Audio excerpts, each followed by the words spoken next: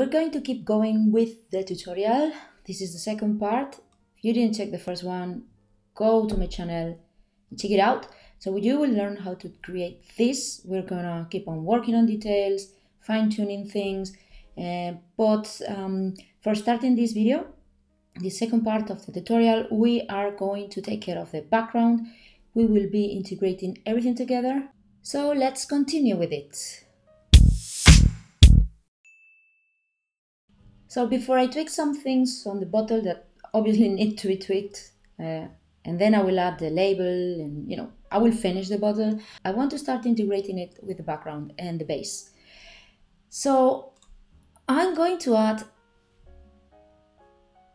a background. Let's choose a nice color, something like this. I'm gonna call it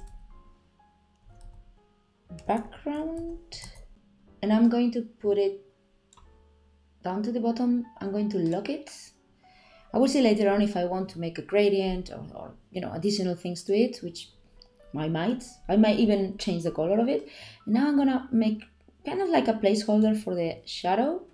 Let's change the color here, something like this, just to start getting some feeling of how it will look.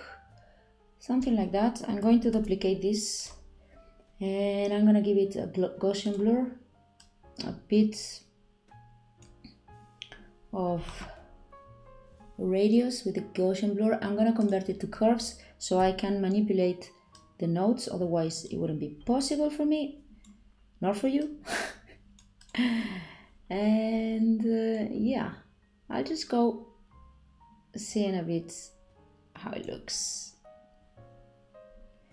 and tweaking it, convert to curves, otherwise I cannot manipulate these nodes, something like this. Probably something like in here and moving this also in the direction the shadow is going. For the time being I'm gonna leave it there. It's not finished. It looks bad I know. But uh, it will look better later on. Now um, this is making me really nervous. This doesn't look good at all so I'm gonna tweak a bit the label. This following the rounded shape of it. Um, something like that. Even a bit more I can I can do it yep like this. Uh, mm, I'm gonna pull this one up first a bit more and something like this yeah it looks better now now now I think I'm gonna work in this color because I'm not very convinced Let's do uh, something similar to the background maybe.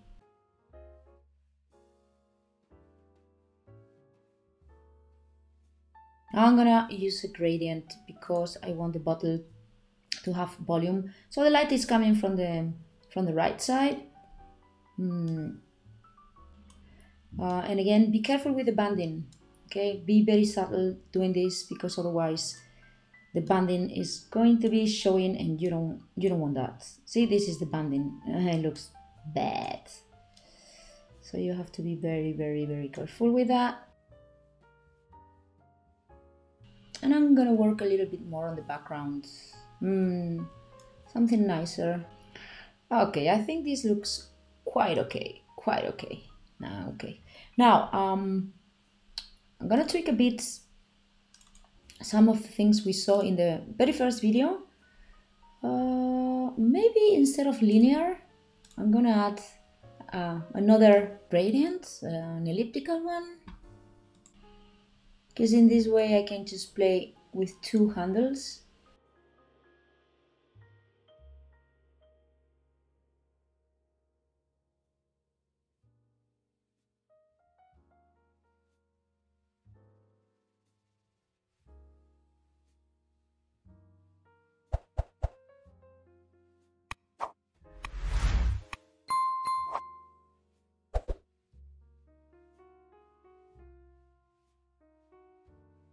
perfect. I think it looks pretty good.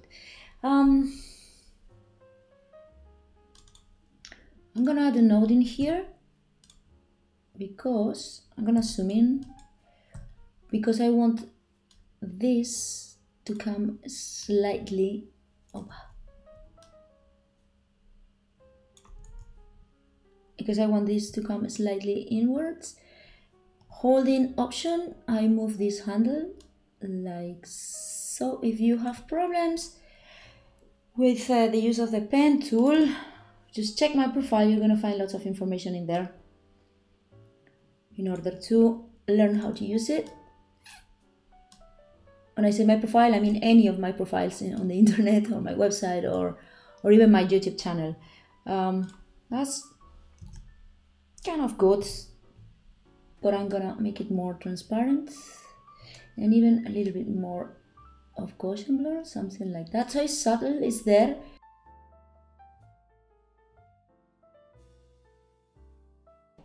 Now I'm gonna duplicate the shape. I'm going to flip it and I'm going to move it to this side uh, just to use this part also the same way. I'm gonna tweak it a bit because probably light is not going to reflect the same on both ends, on both sides. And this is another thing I always do. I just fumble with the backgrounds changing time and again and again and again. Uh, somehow I'd like it to have some relationship with label.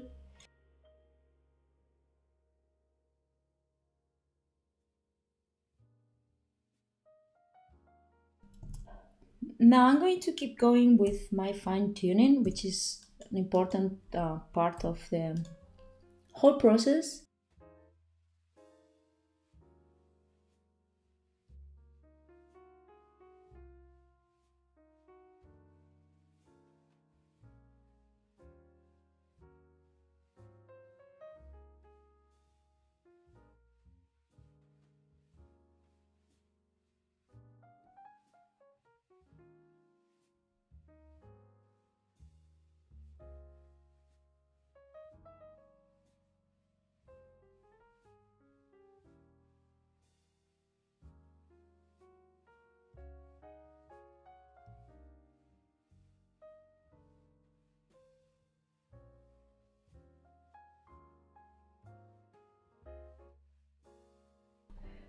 Okay, I think that's good. Um, let me zoom out. What I don't like is that it's not following the the shape of the bottle.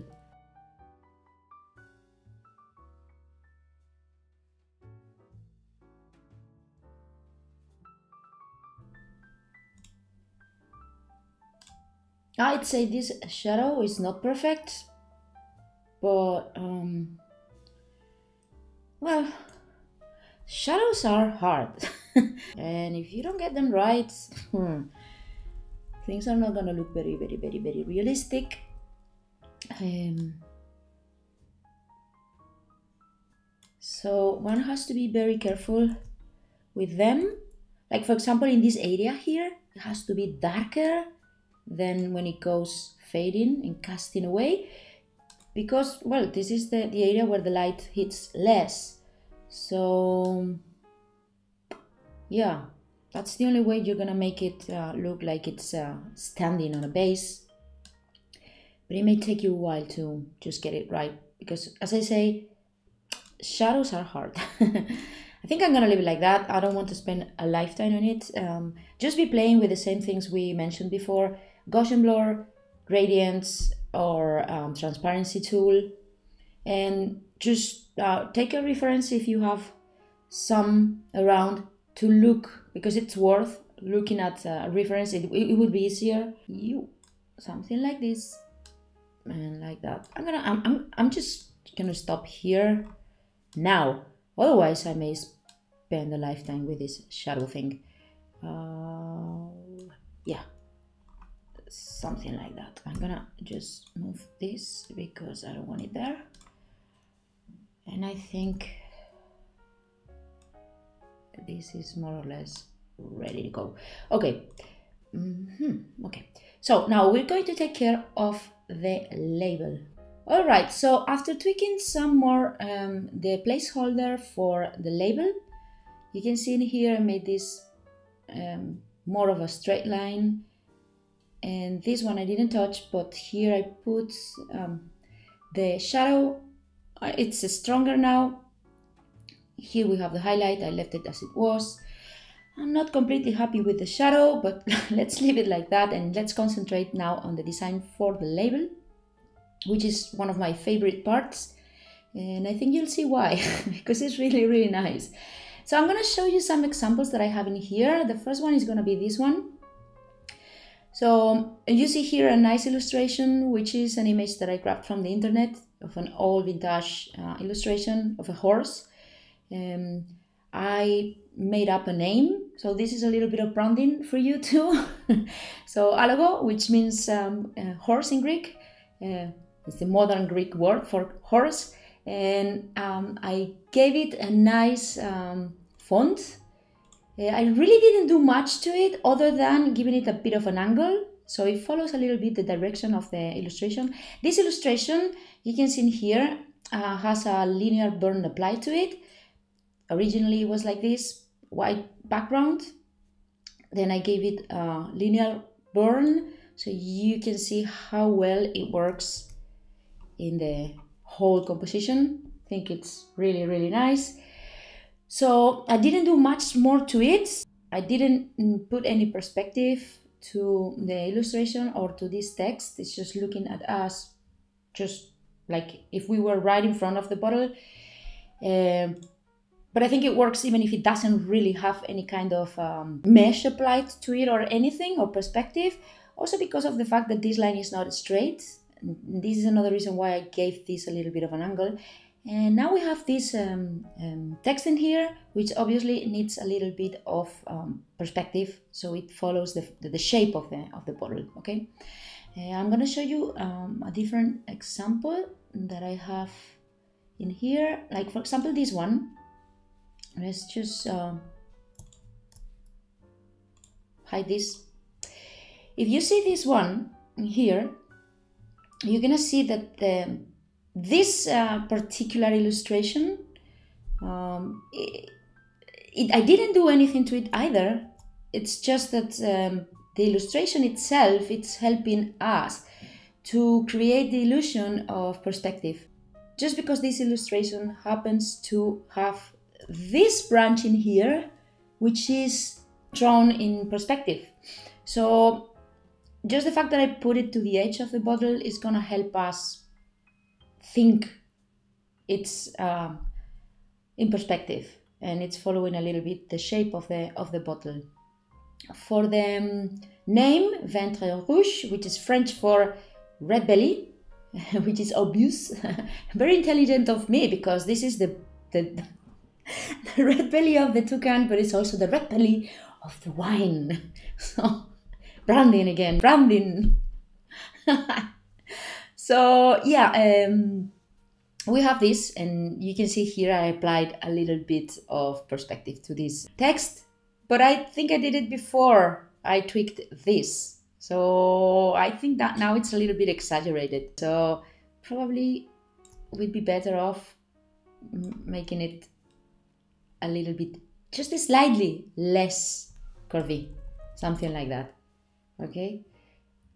Yes, now it's a matter of, you know, positioning things in the right place so everything works well together. Okay, this is another example and I have a third one, which would be this one, which well actually has no difference. It's just that I like it. just I just love these illustrations and the way they work with with this kind of mock-ups. Now have in mind that because this image and everything is masked inside the label if I put it there, you know, like that, and again like that, okay, you can start um, suggesting a bit of, you know, curviness and integration into the whole thing, but um, obviously you would have to work this uh, texting here so it follows a bit the, um, the shape of the bottle. Probably the same with this because it's a bit flat and looking um, too uh, frontal. Um, unfortunately, you cannot do that. Uh, uh, up to this day, at least in Affinity Designer, you can do it in Affinity Photo. So we're just going to leave it like that. But we are going to work this text in here which uh, yes, you can work uh, to make it follow a bit the, the label. So for that, we're gonna grab the ellipse tool. We're gonna trace an ellipse like this, more or less. We're gonna grab now the artistic text tool. We're gonna click over the edge of the ellipse like that. And I'm gonna say um, red wine. I don't even know what I'm writing because I don't see it. I'm gonna just pull it out, which will make my life easier. red wine. Uh, yeah, red wine. Now, this for starters. Now I'm going to tweak pulling these arrows. So because I want it inside, ah, there it goes, inside the ellipse. Red wine. Now I'm going to keep writing um, a bottle mock-up. Now I'm gonna pull this arrow here. Okay. And more or less that be it. Uh, if you find a hard time using these arrows here, just practice a bit. I also find it a bit awkward, but mm, maybe it's because I don't understand exactly how it works. Not that I, use it a lot, but um, yeah, it's a matter of I found out um, fumbling and, and so forth that um, touching here and there, you're gonna find um, a way to to just position your text where you want. Okay. So I select the text, I think I'm gonna make it more of the color that I used for the initial one. And also I'm gonna change to Georgia. I love this Georgia. So here it goes. Um, I'm gonna get rid of this plus. I'm gonna place it here and now you see, oh, it's still very flat. Hmm, easy to fix. I'm gonna push inwards. And I'm going to be just now playing with everything I have in here. So pulling from the arrows, pulling from the bounding box. And now I finish the other part of the text in Affinity Designer period. Okay, so something like that. So I think this is more or less it. It's not too bad. And with this, we are done. Let's just look from a distance. Of course, I need to tweak a bit the shadow to perfection it uh, but in any case, it's a matter of, you know, time until you get it right. That's better. Uh, I'm gonna tweak just a few things here. I'm gonna find many things that, you know, could be better, blah, blah. Basically, and, and, and just uh, wrapping up, uh, work with hierarchy of layers, work with gradients, transparencies, and cropping with booleans plus Gaussian blur. And that's the whole mystery. So if you like this video, please leave me a comment with what you think. Leave me your artwork. I would love to see it. And join our Facebook group. And for sure, leave a comment or a like because that helps me. Adios!